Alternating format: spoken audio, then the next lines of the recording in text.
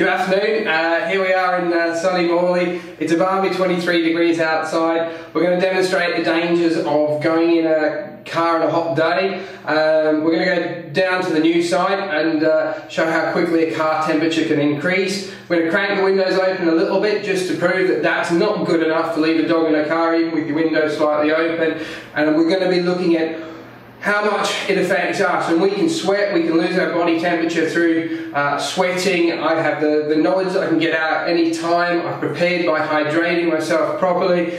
Uh, and if there's any concerns, we're going to stop the experiment, which is a luxury that dogs can't afford. So we'll head off now and we'll show you how dangerous it can get. So we've arrived down at the new spot. Um, we're going to try and stay in the car for a, a, good half hour and see how quick the temperature rises up. We're going to keep giving you five minute intervals. Um, also keep checking my own body temperature, making sure that's not going too high. We started at 36.1 degrees. Uh, we've already been in here a minute and we can already feel the heat starting to, to cotton on and I can already feel me, me, me starting to sweat. This isn't going to be an enjoyable half hour. Right, well that's just been in here five minutes. My body temperature's already gone up to 36.7, so it's uh, already increased significantly, and the temperature in the car is already hitting 37 to 38 degrees, so it's already above my temperature, body temperature, just after five minutes. I'm perspiring. Um, dogs, they have to lose their body heat through panting, and they've got big fur coats on, so their temperature is going to be increasing significantly more than mine. Right, we're 10 minutes in, the window's cranked, there's a breeze outside, but I'm not feeling any of it. My body temperature's up to set 37.3. I'm sweating, I'm feeling really, really uncomfortable. The car temperature's already gone up to 38 degrees. I'm really struggling at the moment. We've still got 20 minutes to go.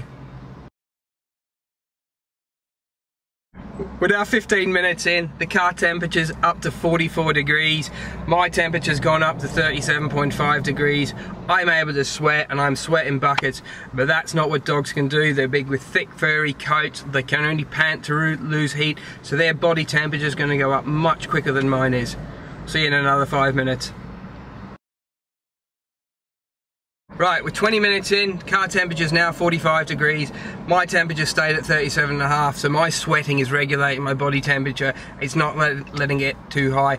In dog situation, they're breathing in air, trying to cool themselves down and breathe it out, and it's hotter than what they're breathing out. Their temperature's going to escalate a lot quicker than mine. And you've got to think of these, these little dogs are going to cook a lot quicker than 90 odd kilos worth of man.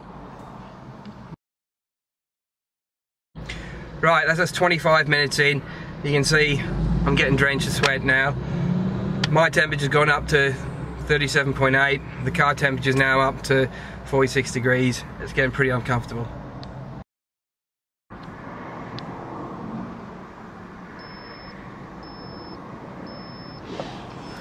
So that's the 30 minutes up. As you can tell, we're absolutely knackered. We'll do the temperature checks. We're just doing those now. Oh, final check. 38.1 degrees and the car thermometer it's reading 50 degrees and that's as high as it goes. It's actually reading more it's over 50 degrees in here. Dogs die in hot cars. Right so we're back in the air conditioning we've changed feeling a lot better. Just going to run through the figures. We're in that car for half an hour and it's gone from 22 degrees up to over 50 degrees The thermometer only went up to 50 degrees, but you can see it going up about another 4 degrees. My body temperature's gone up 2 degrees in half an hour and I could sweat.